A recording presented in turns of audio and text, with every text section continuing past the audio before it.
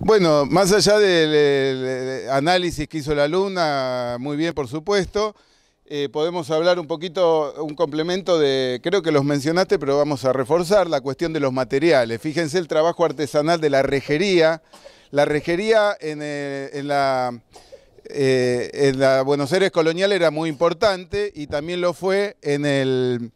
en el Art ¿no? el trabajo artesanal en hierro. Y, después ya hablamos del mármol de Carrara, que permite eh, darse estos lujos del escultor porque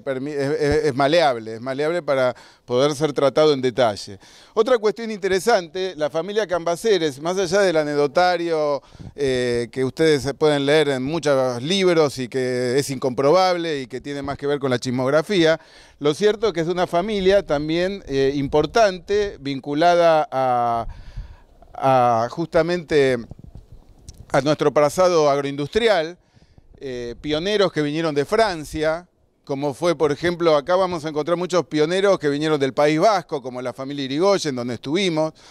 eh, pioneros como la familia Cambaceres, que vino de Francia, entonces venían casi con nada y fueron formando, generando un imperio, desde Antonino Cambaceres, que fue el, bisabuelo, Antonino Cambaceres hijo, que fue el abuelo de Rufina, Eugenio Cambaceres, que ya no se dedicó tanto al arado, sino más a la palabra y a la pluma, que fue uno de los escritores más importantes de la generación del 80, de manera que también este, estudiar la genealogía de muchos personajes nos sirve para ver cómo fue la evolución de nuestro país, tal como les ha pasado a ustedes, que a lo mejor como el caso nuestro, nuestros abuelos vinieron casi sin saber leer y escribir, en el caso de ustedes, sus bisabuelos, y ustedes están en la universidad, ¿no? Entonces es el, derrotero que